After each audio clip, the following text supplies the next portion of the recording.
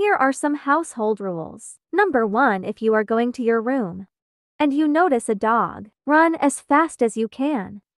Because the dog was the monster's pet. Number 2 If you are going to the library, if you saw a bag, ignore it. Just grab a book and act normal. Number 3 If a statue's eyes are green and black, don't run or scream, just walk past to her. But if her eyes are red and black, ran as fast as you can or you will get killed. Number 4 If you heard someone saying your name, don't open your eyes, just stay asleep. If you open your eyes, mother will appear and kill you. Number 5 If you are feeling tired, don't fall asleep at the couch.